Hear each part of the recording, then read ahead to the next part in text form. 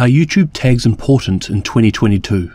First, let me explain what YouTube tags are, as these are sometimes confused with hashtags, which work in a much different way. When uploading a video, you can add tags, which can be found down the bottom of the page. A tag is a piece of text that helps the YouTube algorithm understand what your video is about. Multiple tags can be added, up to a character limit of 500. There is one reason to add tags to your video, to help YouTube understand the category and topic you are covering, and what search terms will yield your video as a result.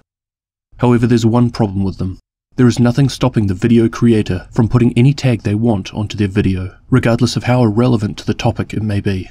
Users would copy tags of popular videos just to try and trick YouTube into placing their videos under more popular topics. This would lead to a negative user experience, where people would struggle to search for the content they were actually looking for which in turn would affect the way advertisers would see value in using YouTube. So are YouTube tags important in 2022? No, but a little bit, yes. As we know, Google owns YouTube, and in 2011 they started working on Google Brain, which is a deep learning artificial intelligence search team that comes under the Google AI umbrella. In 2015, YouTube started using this new AI. By analyzing videos via an algorithm, they were able to start determining the content of a video.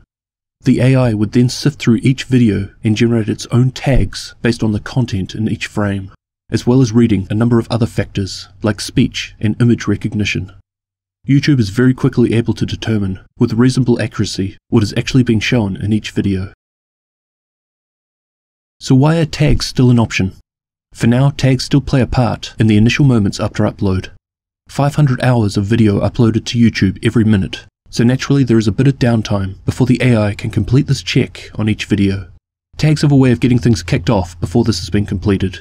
But realistically, once the AI has done its thing, the user enter tags are very quickly made redundant. In conclusion, tags are not as important anymore, but they can help a little bit when pointing the algorithm in the right direction. Tags were abused by creators, so YouTube switched to an AI to determine the content of a video.